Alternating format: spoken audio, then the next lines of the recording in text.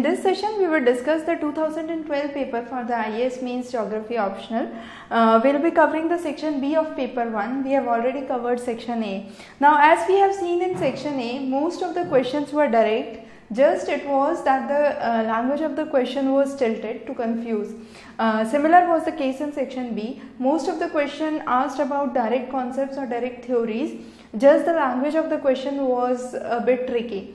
Now the first question talks about relevance of distance decay principle in Indian cities. Now again this question directly asks about the concept of distance decay which says as you move away from the city center as the distance increases the effect decreases. So basically it follows the distance decay rule and uh, if uh, the population is maximum at the core and it decreases as you move away from the city you can say uh, it is applicable in most of the Indian cities like uh, most of the metropolitans you have main CBD or the central business uh, district as the hub of the trade and uh, it basically focuses on the three stage the first is the metropolitan dominance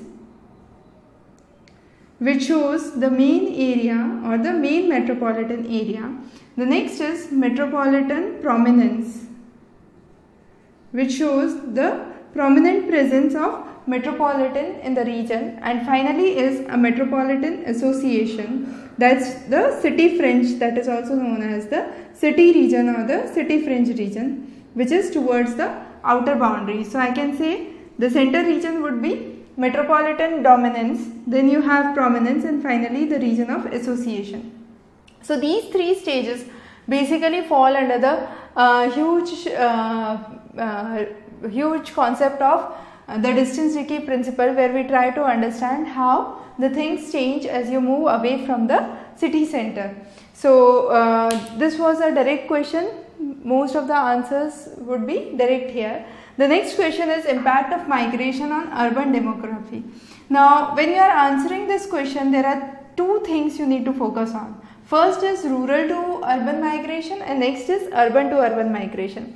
When I say rural to urban migration it's important that I explain both the rural impacts and the urban impacts and when I say urban to urban migration it's movement from a smaller urban town to a urban metropolitan. So when I say movement from rural to urban, what are the benefits and drawbacks on both the ends? So when I say for the rural region, I can say there would be decrease in farming activities because most of the people are moving out of the rural areas. This would lead to food insecurity. So this is on the side of rural areas. However, on the side of urban areas, you will definitely have more labor force you will have advantages of people moving in to the urban areas but this again will have certain drawbacks. This can be in the form of child labor practices. So in the urban areas you might see increased cases of child labor. Then you would have problems related to overcrowding, lack of sanitation and hygiene facilities and then you would have ultimately you would have problems related to slum development or uh, slum formations. So what you have to mention in this question is the impact of migration. So you have to explain the trend, how the movement, the various types of migration, uh, focusing mainly on the rural to urban and urban to urban migration, how urban metropolitan can handle a specific amount of uh, individuals and if that exceeds it would create pressure on the city which would lead to problems of overcrowding and uh, sanitation. The next is similarities in the population distribution of southern continents and the reason for the same. Now when we say northern continents and the southern continents, more than 90% of the population lies in the northern hemisphere. However, southern hemisphere has certain similarities.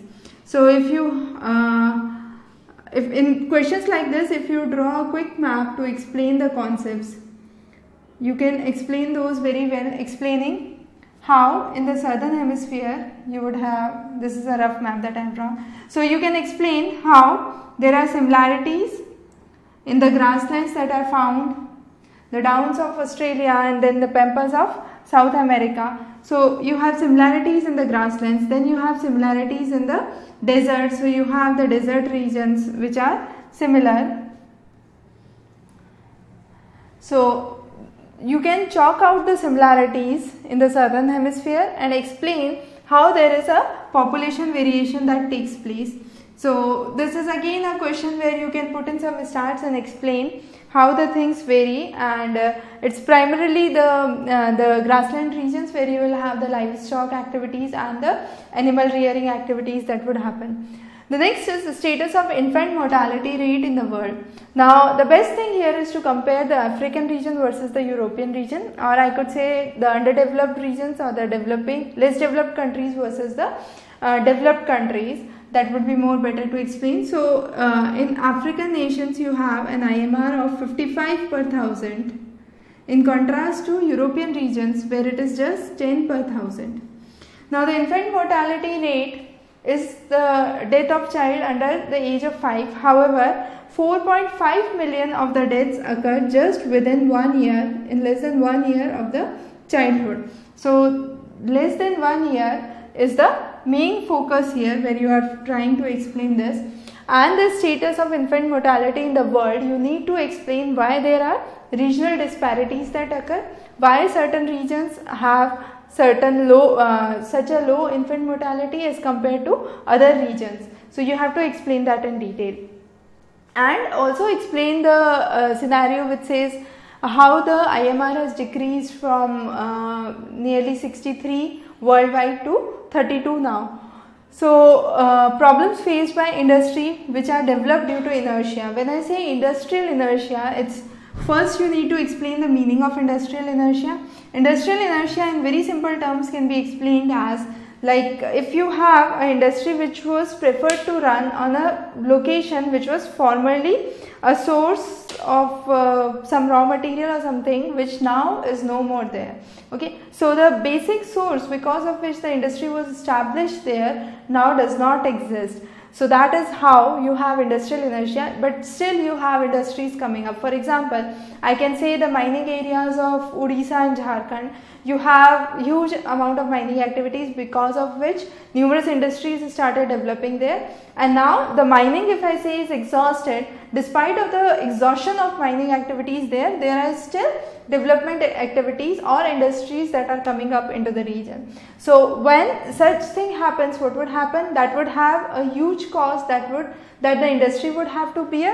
And uh, the examples you can chalk out from the examples of Odisha and Jharkhand that I mentioned. And this would lead to definitely problems and the management of those problems would be difficult because the industry is now established there and is facing problems might be related to raw material or transportation and because of which the cost of production increases. Once the cost of production increases the industry does not remain viable. So if the industry is not viable there could be a forced closure or a shutdown of an industry. So these are some of the problems that are faced due to inertia. So here you have to explain the same concept. The next is evaluate the various models on population density distribution in urban centers. Now this is a classic question that tries to uh, tries to extract from you that you know what is Clark's model. So Clark's model basically talked about the urban centers and the population density distribution. It talked uh, as you move away from the periphery, uh, from the center or the CBD, the density of population decreases. So it decreases exponentially as you move away from the city center. So that was what was Clark's model. Later on Muth and Mill uh, elaborated on this model and tried to explain the similar patterns in population distribution and the density of population varies as you move away from the city center. The next question is although 70% of the Indian population is rural, urban planning is crucial for the development of India. Now to answer this question, first of all you need to explain why urban areas are engines of growth. So you have to explain the urban areas are the uh, pioneer centers for growth.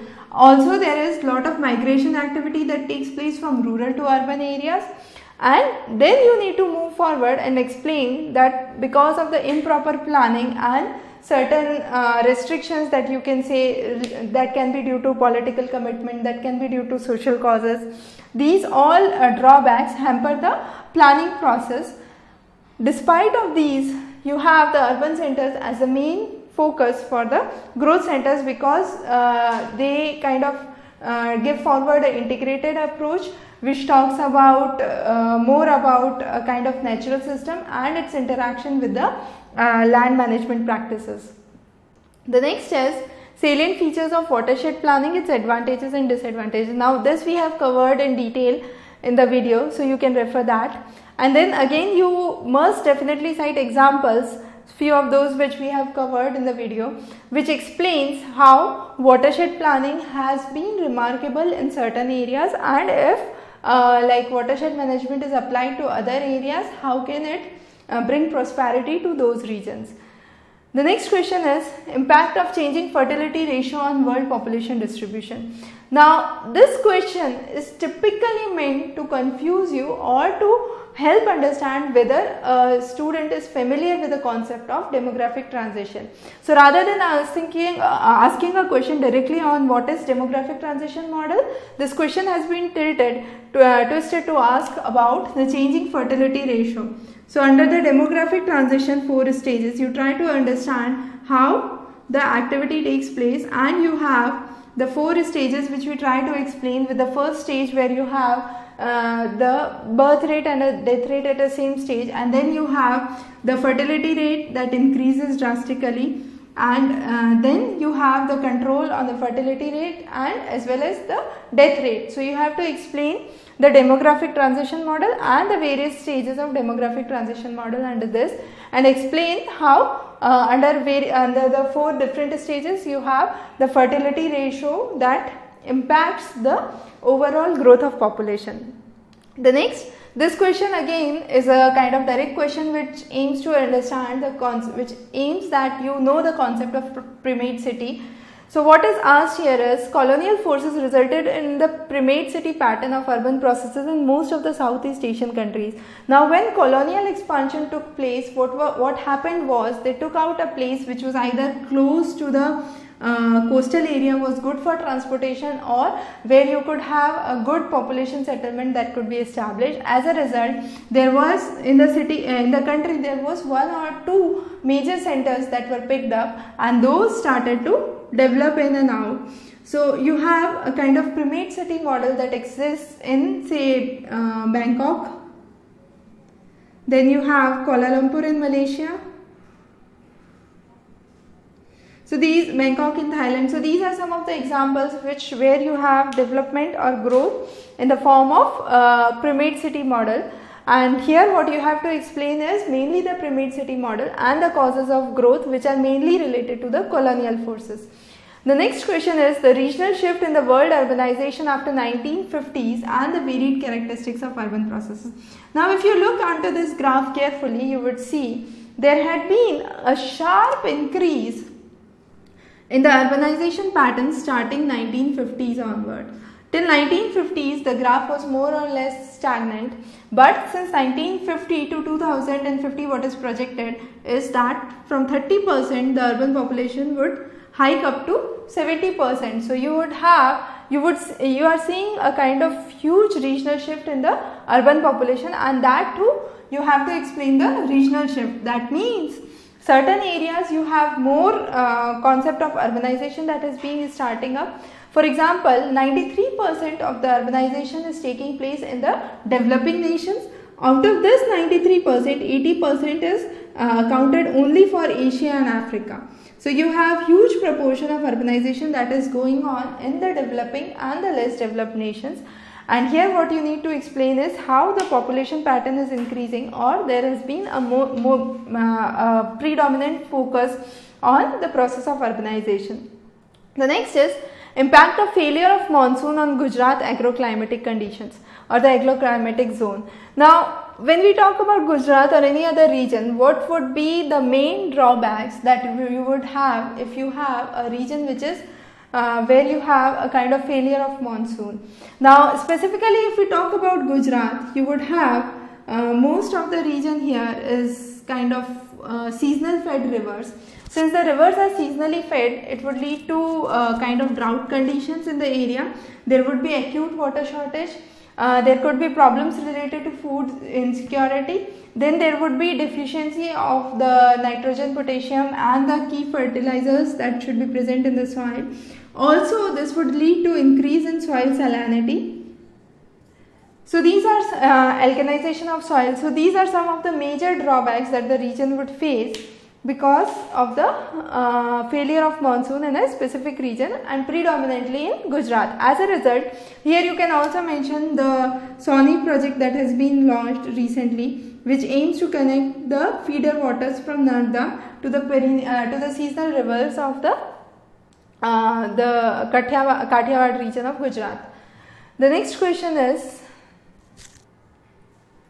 Locational significance of Rotterdam in uh, European economy. Now this question if you say, uh, most of you say that this is out of syllabus or something like that but this is in uh, in a way directly linked to the syllabus because you have the section on transportation where you uh, talk about the business routes and Rotterdam is one of the largest or I could say busiest ports of Europe. It is also known as gateway of Europe. It is one of the major cargo handlers for Europe and nearly I would say uh, most likely the third largest uh, cargo handler around the world. So it definitely has a major impact on the economy of Europe. Uh, it also connects, it creates a delta and a channel there. So you have a kind of uh, significance which is for both the perspective, the natural as well as the economic significance. So here what you need to emphasize is basically the just the economic significance. So with this we cover uh, the paper 1 completely for 2012. We will be covering paper 2 in a separate session. Uh, we will be following uh, these series of lectures with 2013, 14 and 15 papers uh, will, which will be forthcoming in the next videos. Have a good day.